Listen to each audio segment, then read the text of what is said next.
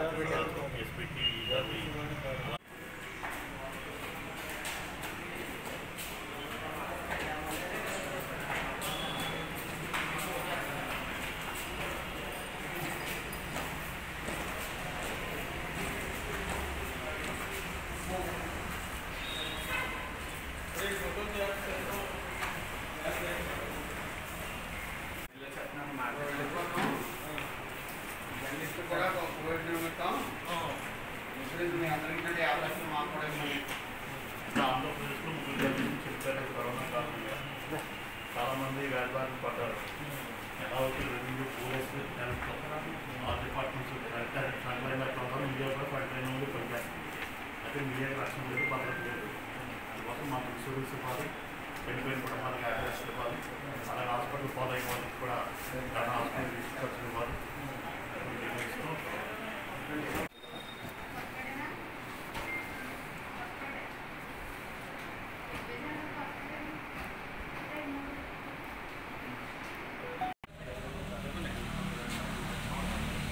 ప్రస్తుతం కరోనా విజృంభిస్తున్న తరుణంలో ఏదైతే అన్ని శాఖలు ముందుండి పనిచేస్తున్నాయో వారితో సమానంగా కూడా జర్నలిస్టులు ముందుండి పనిచేస్తున్నారు. ప్రధానంగా ప్రభుత్వం కరోనా నేపథ్యంలో తీసుకుని ఏ నిర్ణయమైనా ప్రజలకి చేరవేయడంలో మీడియాది చాలా కీలకమైన పాత్ర.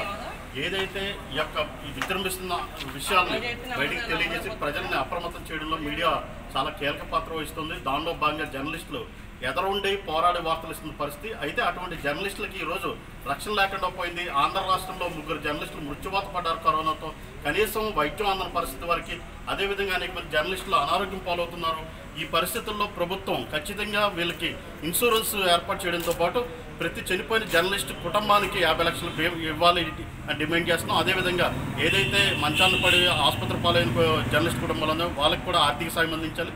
అంతేకాదు అన్ని విభాగాలకి ఏదైతే ప్రస్తుతం ఆంధ్రప్రదేశ్ ప్రభుత్వం సహాయం ఆర్థిక సహాయం అందించింది అటు లాయర్లకు కానీ ఇటు ఆటో డ్రైవర్లకు కానీ ఇలా అందరికీ అదే విధంగా ఏదైతే రాష్ట్ర వ్యాప్తంగా ఉన్న జర్నలిస్టులు ఉన్నారో వాళ్ళందరికీ కూడా సహాయం అందించాలని కోరుతాం దీనికై ఏదైతే ఈరోజు ఏపీడబ్ల్యూజే పిలుపు ఉందో పిలుపులో భాగంగా అమలాపురం ఆర్డీఓకి వింతపత్రం అందజేయడం జరిగింది.